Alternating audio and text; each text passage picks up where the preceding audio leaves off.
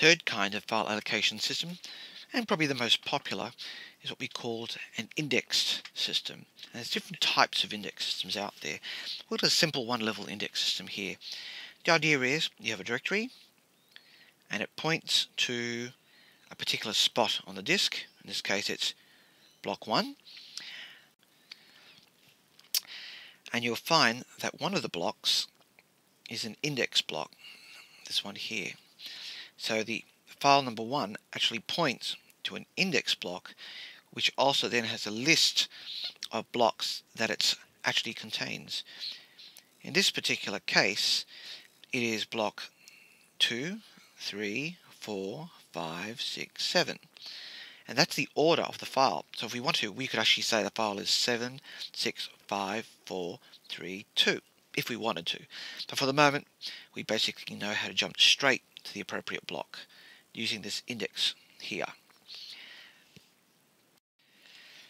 The advantage of this system with this single simple file, if I want to read block 6, for example, block 6, it only needs two reads.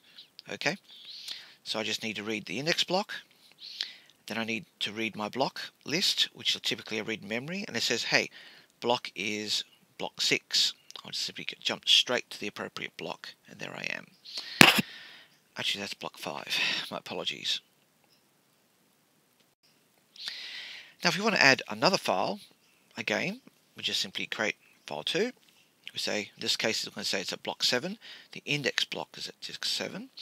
And this contains a, um, a list of files, blocks I mean. It's got 8, 9, 10, 11, 12, up to 23. Again, to read the fifth block in this file, all I have to do is read the index.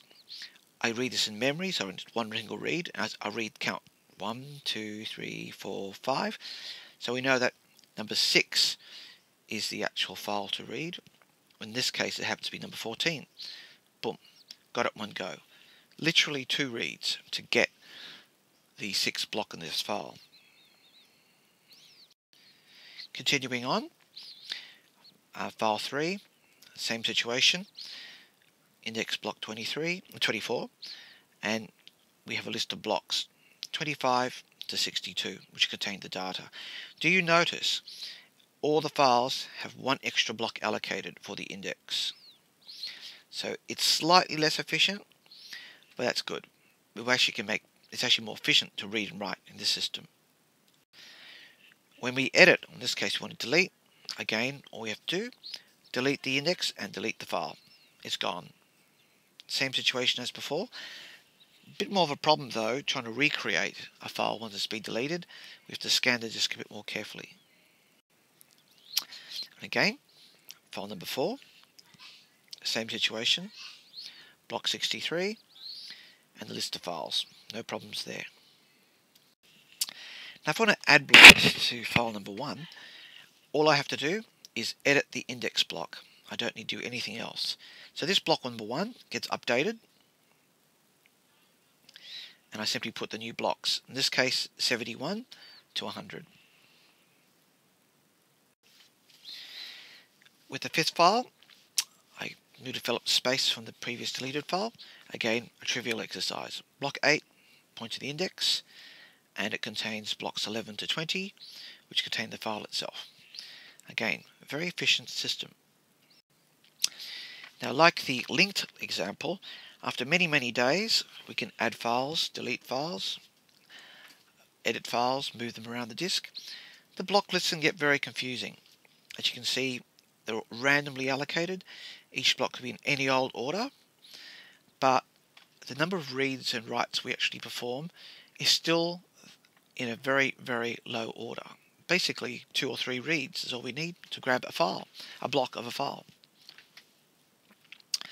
This is what we call a log logarithmic um, scale and I'll talk about that shortly when we talk about complexity.